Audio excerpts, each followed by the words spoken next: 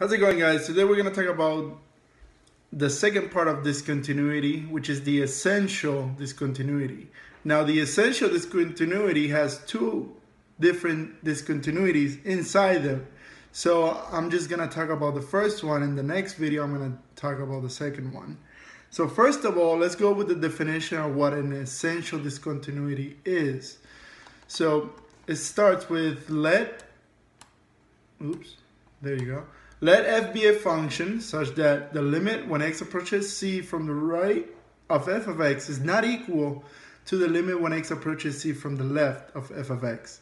Then c is called an essential discontinuity. Okay, so basically, when the limits are different, that's when we have an essential discontinuity. Okay. In the previous video, we talked about removable discontinuity, which the limits were equal but at the point it was the function was not equal to evaluate it at the point to the limit. And this discontinuity is when we have different limits from the left and from the right. In other in other words the limit does not exist. So when the limit does not exist we call it essential discontinuity. Now the first part of essential is called the jump discontinuity okay? And then for the definition of the jump discontinuity, you have all this mumbo jumbo that I'm going to explain carefully. So it said, let f be a function such that. Notice the ors here. These are three different conditions to have a jump discontinuity. Now I'm going to talk about this one's in, in uh, the first one is specifically. So it says the limit when x approaches to the right of f of x is less than infinity what does that mean? What kind of notation does that express? Whenever you have this right here, less than infinity, it, it means that it's finite, okay? It means that's a real number. So, and in mathematics, whenever you see something that's less than infinity, it's just saying that it's finite, okay? So there's a fixed, so it has a number. Call it any constant, okay? So it says when the limit of x approaches c from the right is is finite, or meaning it has a it has a value, not equal to the limit when x approaches c from the left, which is equal to f of c, okay? So how would that look like geometrically or graphically? It will look like this right here. Notice that this one, this value here, oh, I guess I have to change the layers again. There it is. Okay. Um, this value here is this one. It's the first limit from the left. Oh, I mean from the right. So for this example, I'm actually using the second condition that if x is approaching c from the left, it's a finite value and is not equal when the limit approaches c from the right, which is equal to f of c. So if we approach c from the left, notice that it approaches this value. Let's call it, I don't know, a or uh, L, M, M. Let's call it M, capital M, okay? Now, if we approach C from the right, it approaches this value. Let's call it N. Okay? And then notice that f of c is also equal to n. So this example is the second condition, which is the limit when x approaches c of f of a is m. So the limit when x approaches c from the left of f of x is equal to some m, which is not equal, so it's not equal to the limit when x approaches c from the right of f of x, which is equal to f of c, okay?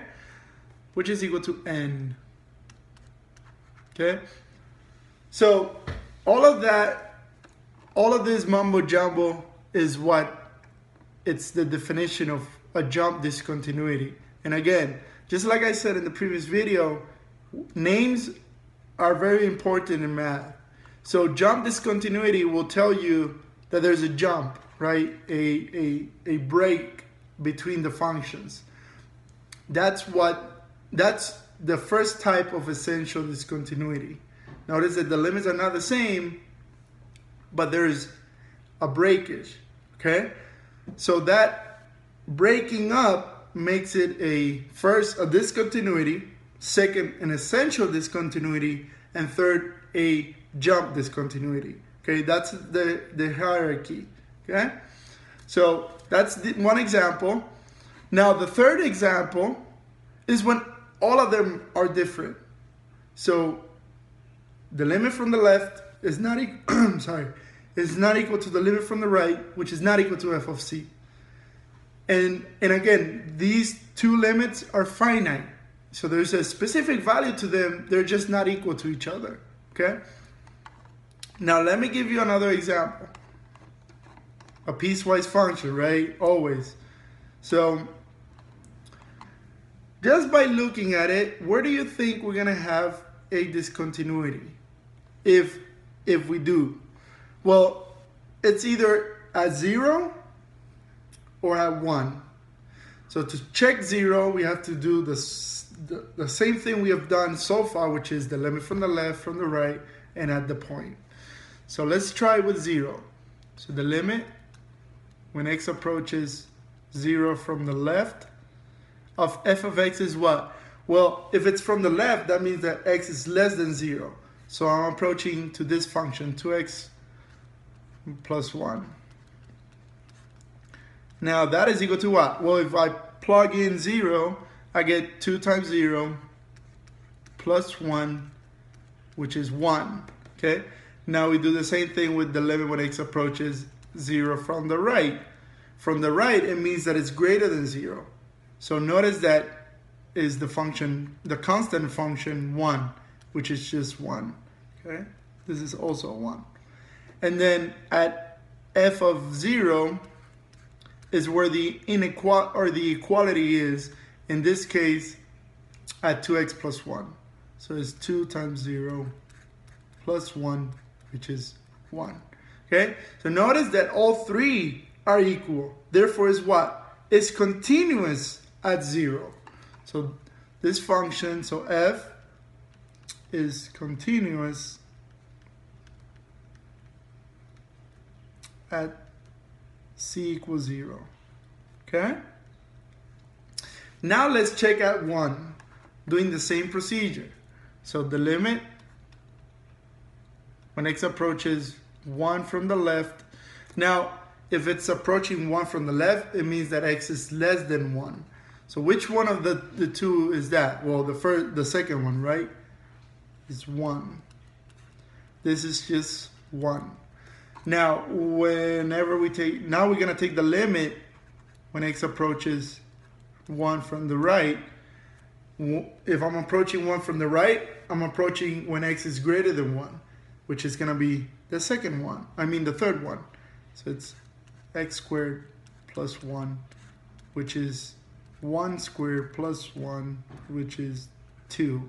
Okay? And f of 1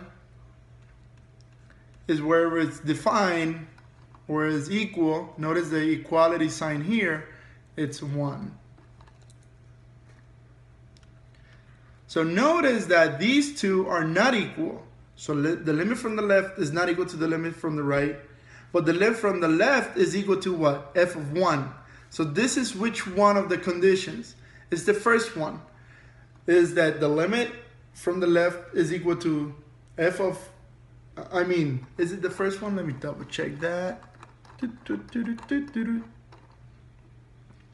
Oh yeah, it's the first one. I just wrote it in this side. So approaching from the left is equal to f of c, but it's not equal to approaching from the right. So that's exactly what happened at 1. Therefore this, so f, given this, f is a jump discontinuity